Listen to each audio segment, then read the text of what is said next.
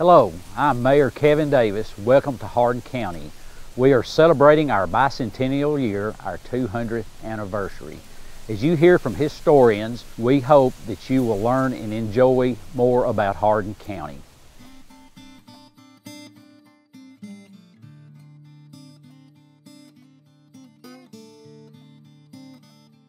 I am David Cagle, and I am the president of the Historical Society, and I have done a lot of work on the history of uh, Hardin County, and we're going to look at the first, uh, the early part of the, the, county's history from about uh, 1818 uh, until 1830. Uh, All right, the land that was uh, Hardin County originally belonged to the Native Americans that came to this continent across the Bering Strait about 11,000 years ago. Of course, uh, they uh, settled uh, all across the American continent, and about the year 1000, the Vikings visited North America uh, they got blown off course and came to the continent and spent some time and then uh, went back uh, without claiming the area. But Columbus came in 1492 and he claimed America for the Spanish government. So in 1492, uh, that's the wrong date, 1497, the English came to America and they claimed portions of North America, and then in the 1530s, the French finally came to America, and the Spanish and the English and the French uh, were all vying for control over North America, and it ended in what we now call the French and Indian War, which the British won in about 1763. So they uh, got control of the uh, continent from the Mississippi to the Atlantic Ocean and had control of most of that area and uh, had set up 13 colonies along the eastern uh, United States and uh, the land over the Appalachian Mountains to the uh, Mississippi River was reserved for the Native Americans or the Indians. The English control didn't last long because in 1775 the colonies uh, revolted and we had the, what is known as the American Revolution. Well, this continued for about eight years and in 1783 uh, the uh, Americans came out on top and that's uh, when the uh, United States was formed. Uh, the original 13 colonies became the original 13 states. The war ended in 1783, and in 1784, uh, Colonel Joseph Hardin and two of his sons were awarded land uh, for their participation in the Revolutionary War. They fought in the Battle of Kings Mountain, which was kind of a turning point in the South in the war. They were awarded, Colonel Hardin was awarded 3,000 acres, and his two oldest sons were awarded 1,000 acres each, and this was located in the future Hardin County.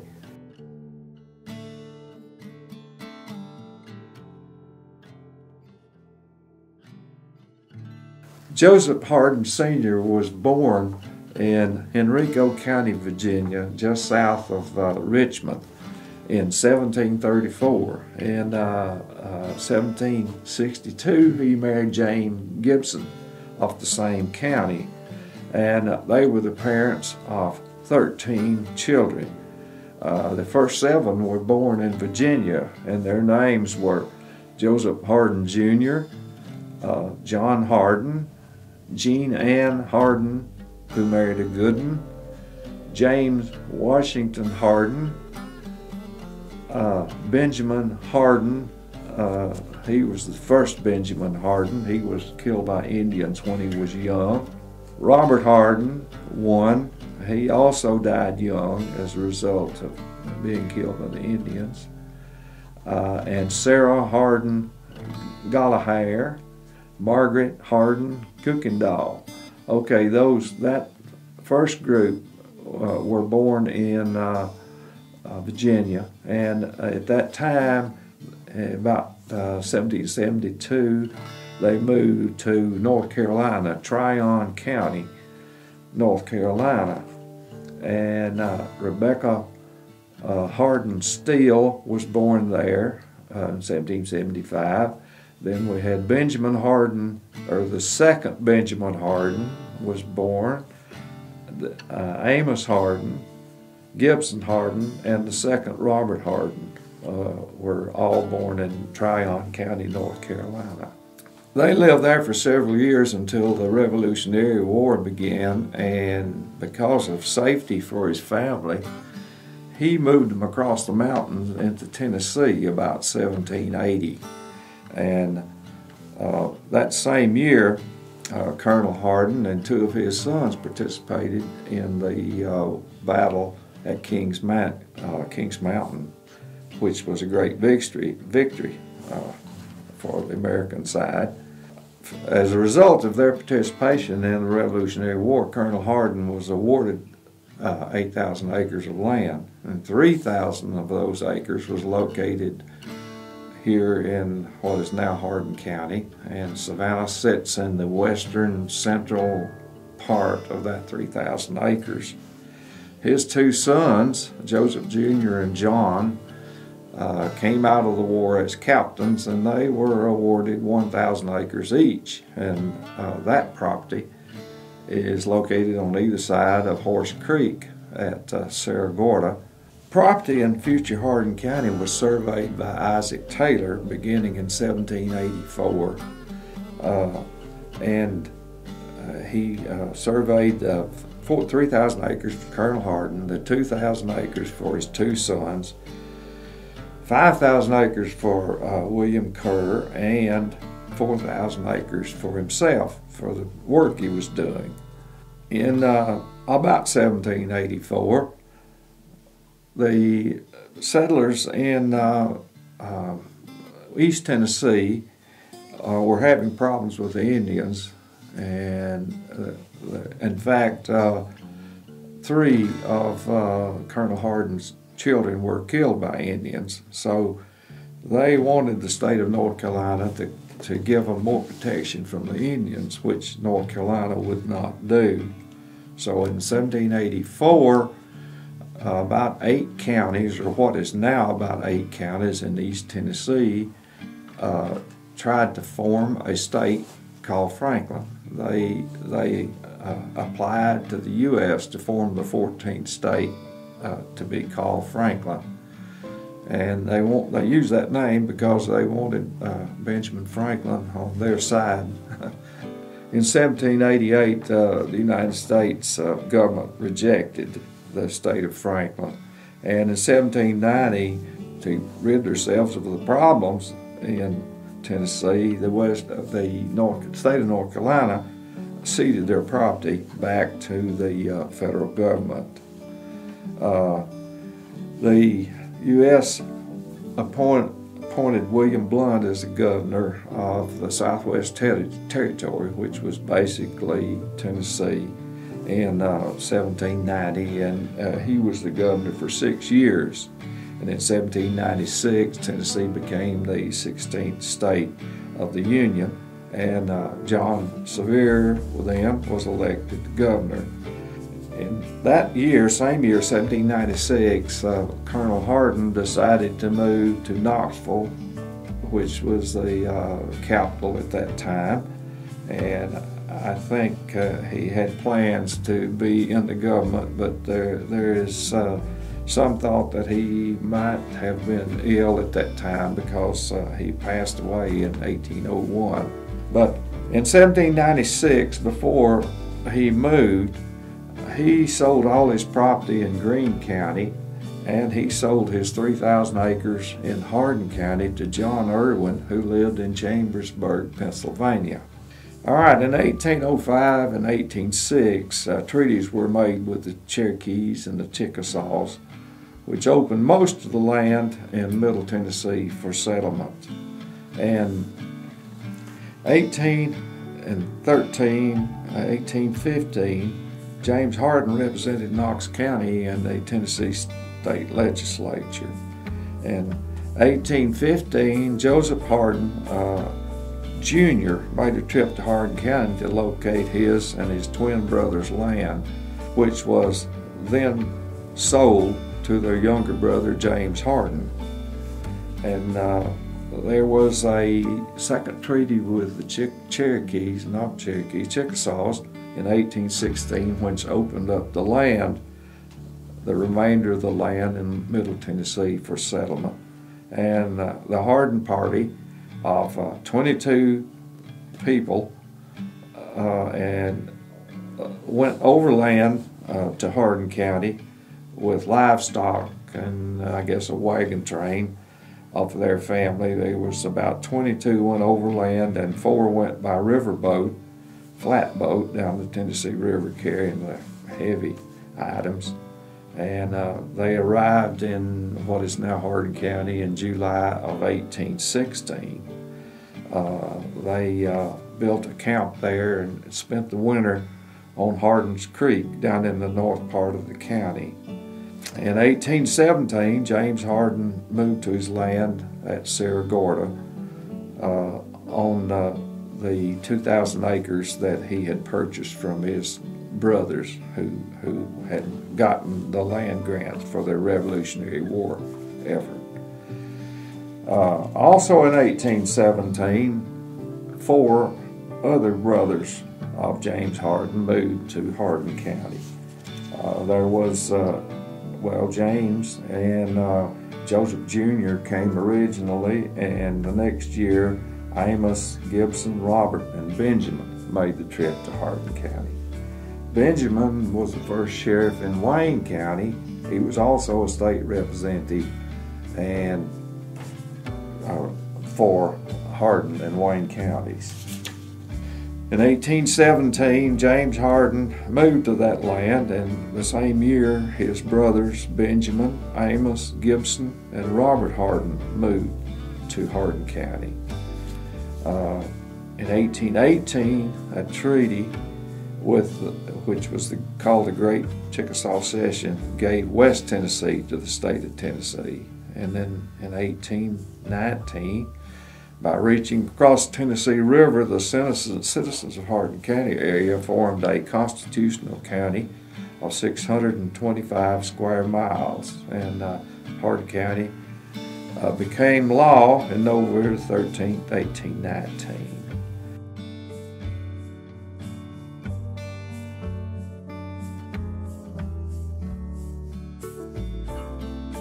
In 1818, a petition was made to the state of Tennessee to form a new county to be called Hardin in honor of Colonel Joseph Hardin. In 19, 1819, a bill was passed by the state legislature and Hardin County became law on the 13th of November in 1819. Uh, the north and the south boundaries, when it was when a description was written, the north and south boundaries extended from Wayne County all the way to the Mississippi River. Uh, Shelby County was then cut from Hardin County 11 days later, so there was some politics involved there. Uh, in any, any case, the state legislature redefined the boundaries of Hardin County the next year at their next session. So uh, the boundaries were made about the same as they are today, uh, about 625 square miles uh, was a constitutional county. All right, in 1820, a group of concerned citizens met at the house of James Hardin at Hardinsville, which is now called Cerro Gordo, to form a court of pleas and quarter sessions. Isom Cherry was chosen as the chairman of the court. James Hardin uh, was chosen as the county court clerk, and Daniel Smith was chosen as the sheriff. And there were five men who were elected as the quorum court to serve for one year. In 1821, James Hardin uh, allowed the court to meet in his residence. A small log structure was built uh, near the house to house the county records that were uh, filed. In 1822, on the 9th of January of that year, James Hardin was declared defaulter as to certain monies belonging to the office of the Chancery Court Clerk and re was removed from office. Uh, in 1826, James Hardin and his bondsmen, who were his brothers, were bankrupt, bankrupt from their losses in court actions and penalties from the state of Tennessee. And uh, all of the Hardin boys were either dead or had moved out of Hardin Wayne County area by 1826. Uh, Joseph Hardin Jr. had moved to Arkansas, and where he died in 1825. James Hardin died in Hardin County in 1826, and all his immediate family moved to McCracken County, uh, Kentucky. Uh, Gibson Hardin died in Hardin County in 1826. Amos Hardin moved back to Knox County, Tennessee, where he died in 1840. Benjamin Hardin, the first sheriff of Wayne County and state representative for Hardin and Wayne counties, uh, moved to Polk County, Texas, in, where he died in 1845. He was the great grandfather of the famous outlaw John Wesley Hardin. And then Robert Hardin moved to Marshall County, Tennessee, where he died in 1867. The final blow came to the Hardin family when the name of the county seat, which is called Hardinsville at three locations, was changed to Savannah. Anyway, in 18, 1822, I'm sorry, when uh, Hardin was re relieved from office, the county government apparently was denied the use of his residence because a committee uh, was formed immediately to find a new seat of justice. In other words, a permanent site for the county court. The site was chosen at the confluence of Turkey and Boone Creeks. Uh, about 50 acres was purchased, and the court met, met there for the first time in July of 1822. Lewis H. Broyles, who had opened the first retail business in Hardin County in 1821, immediately moved his operation to the new county seat. In 1823, John Kendall built a hotel at the new town, Alexander Sweeney, a saddle shop, James Bowman, a hatter shop, and James Scott, a law office. Others buying lots were Joseph Buckingham, Gabriel Aids, William Sloan, Amos Hardin, and I believe that was all. And work began on a courthouse and a jail that year. Um, in 1824, there was much, much dissatisfaction with the locals because of the location of the county seat. It was basically it was too far from the river, and the river was the road to the outside world. All the commerce had to flow up and down the river. Uh, the state appointed a committee to locate a new county seat on the river. The site chosen was where the old stage road crossed the Tennessee River at Rudd's Ferry, uh, being at the center west end of the Colonel Joseph Hardin's 3,000 acre military grant, now owned by John Irwin. Realizing that this was going to be an important place and uh, that money was to be made, the Hardin family attempted to claim their father's grant, which he had already sold to uh, John Irwin.